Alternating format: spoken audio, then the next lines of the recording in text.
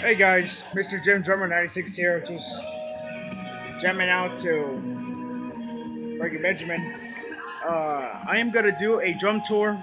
Uh, I'm sorry the music is overpowering this video. Okay, that's not the lower button. I'm gonna lower it down just a little bit. Um, here's my drum tour.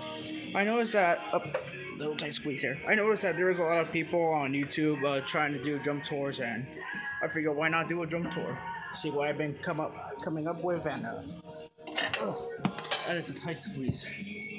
Uh, okay, so here's my kit here. It is a Pulse double bass drum set, but uh, I recently have the other uh, bass drum remove the wrapping because I am fixing to uh, rewrap the drum set to orange. So this will not be white with black hardware. It will be black. No, it will be um orange with black hardware. Um, pedals DW3000 with uh, PDP beaters. kind of say they're they're not that heavy, but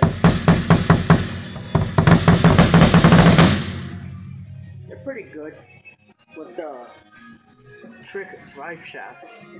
I had this over a few years. Well, not a few years, but just uh, recently last year. And I tried this out. Surprisingly, it is so smooth. Like, it's not. Damn it. It's not even gonna be. No play, no action. As you see, I could have the. I have some tape I am very, I am very OCDetic, like OCD. I'm OCD with my um, um, where I place my things. If that even makes sense. Um, snare drum is a Mapex, uh, 14 by 8 with Promark American Hickory 5B at Evans level 360 with drum dot uh, DW key. Some of the rims are from the um, Gallhard percussion. Gallhard percussion, yeah. Um,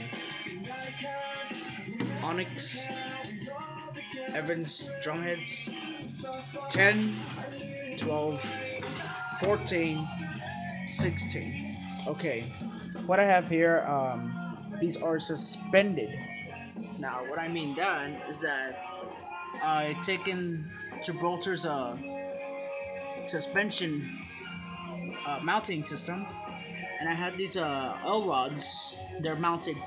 They're mounted downwards instead of upwards. Why? Why downwards? Because upwards is gonna make it more slip.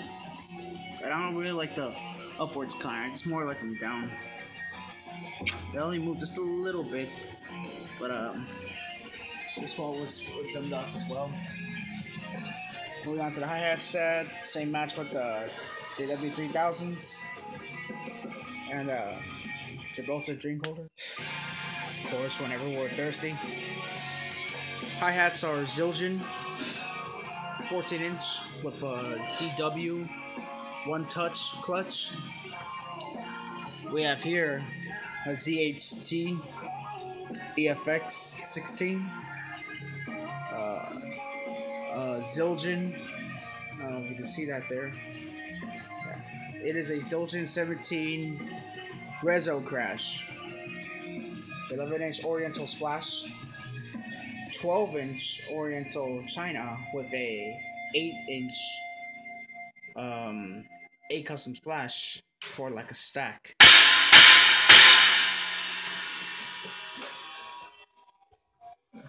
The S series medium thin crash 18 inch. ZBT ride that I got. I don't know if you can see it. 79 bucks for at at Action Pawn. Sounds very good. The 7 inch LP Bell here is a stacker. Um, this is an 18 inch Oriental China on top of a 16 inch crash. And that's what it sounds like.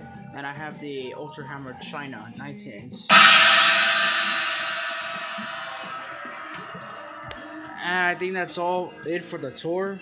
Um, thank you guys for watching. And um, I'll check out, chop back up with you in a bit. Oh, forgetting one more thing.